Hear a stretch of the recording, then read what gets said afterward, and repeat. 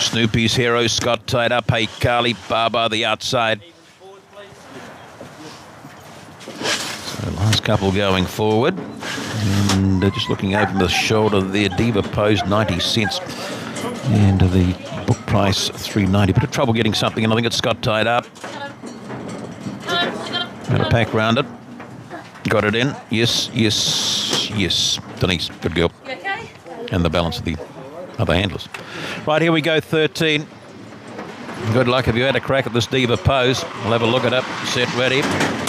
Away we go, Diva Pose, okay. Inside of her there is How's Your Mum and out by the track. There we go to Hey Carly. Round the outside there would have been Jack No Lag, followed further back. Oh, Diva Pose has gone back through the pack. Dropping out there two Snoopy's Hero, Yellow, Alabama off the top. They come in. Jack No Lag for Castro is kicked away. Jack No Lag, Hey Carly. Then we go to How's Your Mum, followed there by Diva Pose. Further back still there would have been Scott tied up. Yellow Ella towards the tail of the field. Snoopy's Hero and Baba, your last.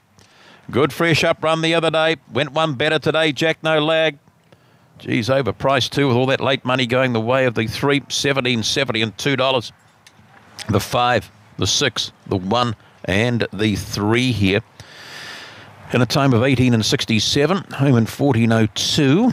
And uh, just looking over the shoulder, the Diva Pose closed a dollar twenty, a dollar fifty, and a win pool of thirty thousand dollars. Place pool of about two k.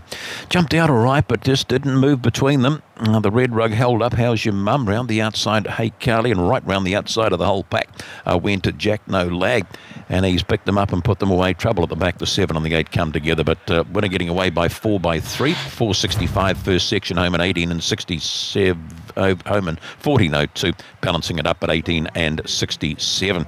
So Yanni Castro uh, there with uh, the Greyhound bait too much from Pink Sock uh, scoring in the last of the day.